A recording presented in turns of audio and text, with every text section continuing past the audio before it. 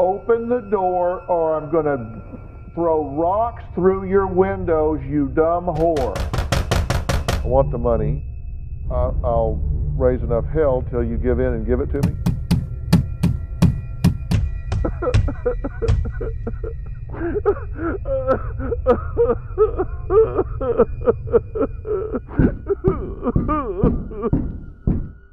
Go kill yourself. Nobody likes you. Everybody hates you. You would be better off dead. Just go kill yourself.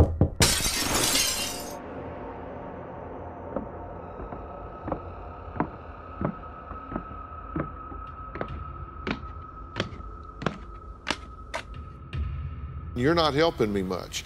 And if you don't help me much, I can't help you.